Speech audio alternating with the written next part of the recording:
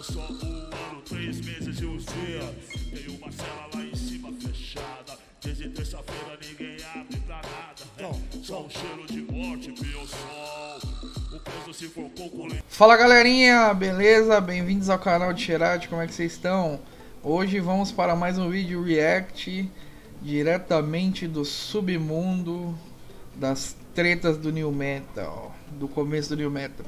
Hoje vamos reagir aí a um videozinho aqui do Mushohead, eu acho que é isso que é como é que fala, eu não sei, sou burro ignorante. Que a, a treta é o seguinte, galera, o, o Mushohead é uma banda bem estilão Slipknot aí pra quem não conhece mascarado e tal. E a treta é que os caras veio primeiro, né? E tal. E fala que os, que os caras Slipknot copiou e tal. Há uma lenda aí que o vocal, um dos, tem dois vocais na banda, um dos dois vocais aí é, era para ser vocalista do Slipknot, mas aí os caras lá no, no, que fizeram o projeto acharam que a voz dele não era para as rádios e acabaram chamando Corey.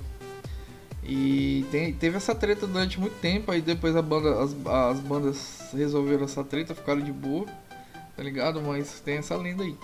Vamos reagir ao novo som deles aí, chamado Cienal, eu acho que é isso. Mas vamos lá, eu vou deixar o vídeo no ponto aqui, por fonezinho. Vamos ver qual é que é do rolê, né? Não sei mais delongas, 3, 2, 1, bora pro react.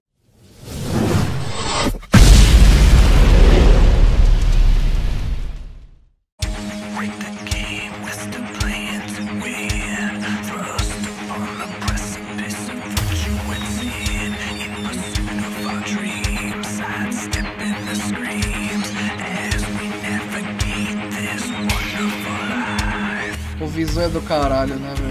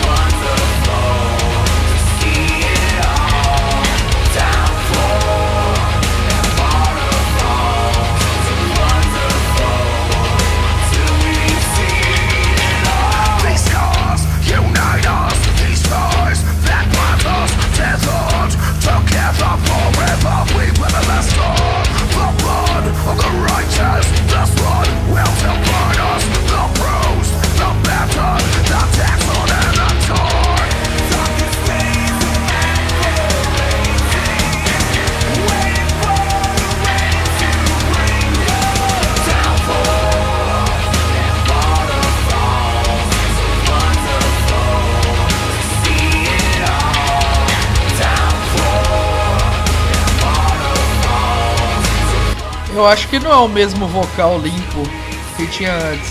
O timbre tá bem diferente.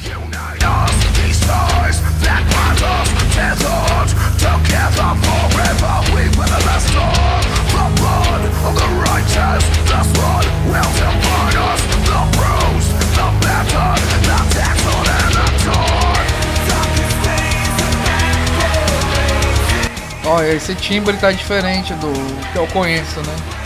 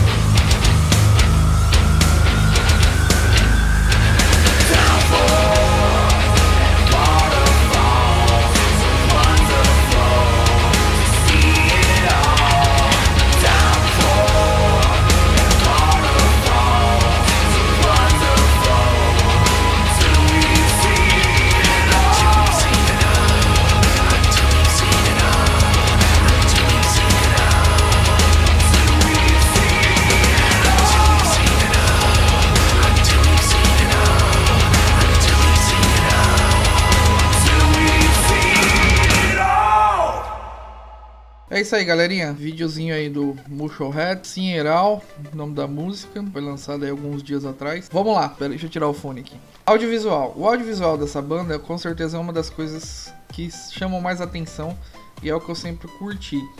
Só que tem um porém. Essa produção do clipe, eles já usam essa, essa, esse nível de produção hollywoodiano desde antigamente, quando começou. Esse nível de produção é do caralho. Os clipes são ótimos. E o visual dos caras eu acho muito melhor que o visual do Slipknot. Só que eu já vi alguns shows da banda, eles não conseguem levar esse mesmo padrão de produção para os shows. E aí é onde eu acho zoado para uma banda, entendeu? É onde eu acho que eles não tenham estourado tanto quanto o Slipknot estourou.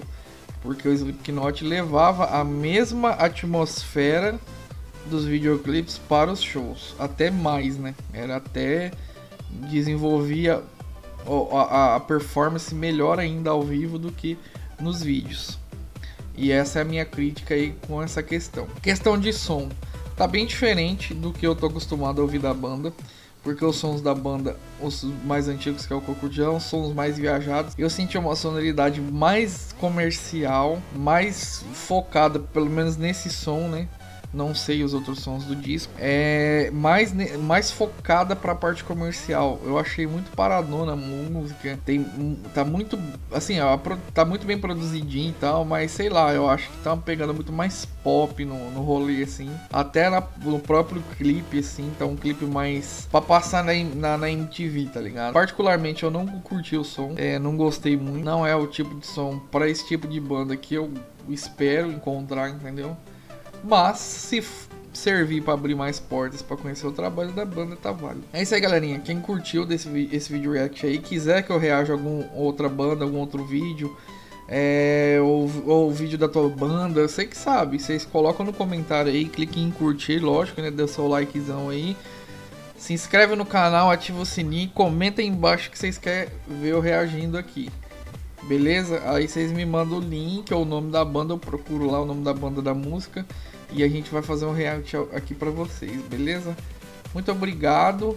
Lembrando que tem o link do apoio aqui embaixo.